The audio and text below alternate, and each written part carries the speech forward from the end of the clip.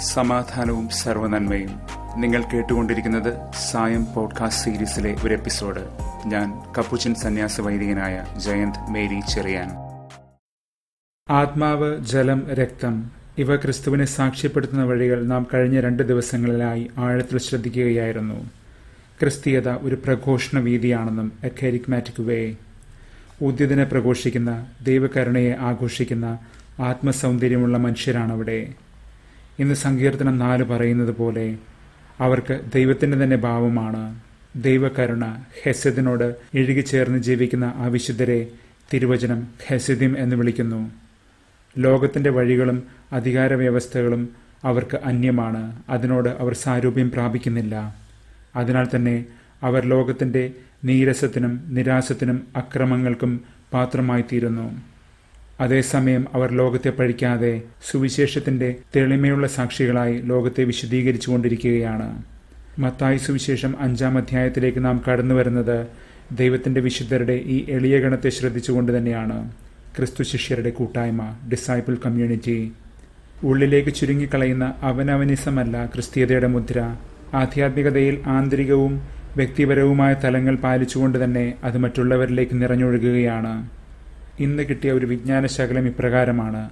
ഉറുമ്പുകൾക്ക് രണ്ട് ആമാശയങ്ങളുണ്ടത്രേ ഒന്ന് സ്വന്തം ആഹാരം സൂക്ഷിക്കാനും മറ്റൊന്ന് മറ്റുള്ളവർക്ക് പകരാനുള്ള ഭക്ഷണം സൂക്ഷിച്ചു വയ്ക്കാനും. അതുപോലെ തന്നെ ക്രിസ്തു ശിഷ്യർ തങ്ങളുടെ ആന്തരികതകളുടെ ധന്യതയാൽ ലോകത്തെ കൂടി ധന്യമാക്കുകയാണ്. അവർ തികച്ചും വ്യത്യസ്തരായി മാറുന്നു വിഭിന്നരായി മാറുന്നു ലൗകിക വ്യവസ്ഥിതികളിൽ നിന്ന് ഡിസ്റ്റിങ്റ്റീവ്.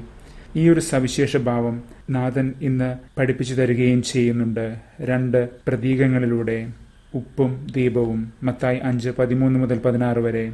രണ്ടും പ്രകടഭാവങ്ങൾ പേർന്നതാണ് ഒന്ന് രുചി കൊണ്ടും മറ്റേത് ദർശനീയത കൊണ്ടും വിസിബിലിറ്റി. കാണപ്പെടുകയും കാഴ്ചയൊരുക്കുകയും ചെയ്യുന്ന ദീപ്തിപൂരമാണ് ക്രിസ്തീയത. ക്രിസ്തീയത അതുകൊണ്ട് തന്നെ ഒരു സുന്ദരാനുഭവമായി മാറുന്നു.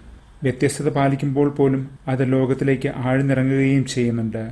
ഡിസ്റ്റിങ്റ്റീവ് ആൻഡ് ഇൻവോൾവ് അതേസമയം ഈ വ്യത്യസ്തത ലോകത്തിന്റെ അപ്രീതിക്ക് പാത്രമാകുകയും ചെയ്യും. സംശയം വേണ്ട നമ്മൾ പീഡിപ്പിക്കപ്പെടും.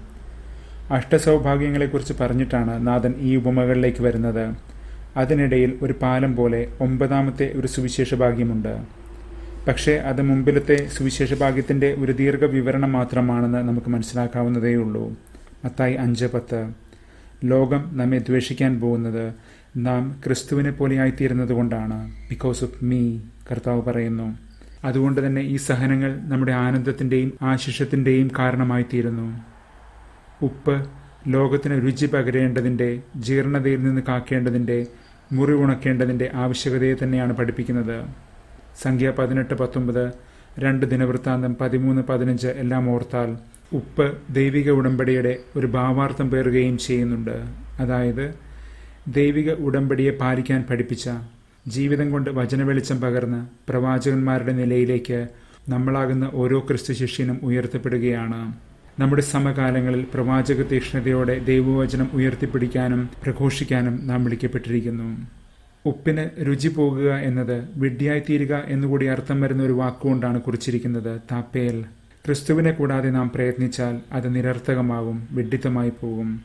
ഇന്ന് സങ്കീർത്തനം നാല് പറയുന്നത് പോലെ വിഫലതകളുടെ പുറകെ പായുന്ന ലൗകിക ശക്തി തേടിയവരുടെ ഗതിയാണിത്.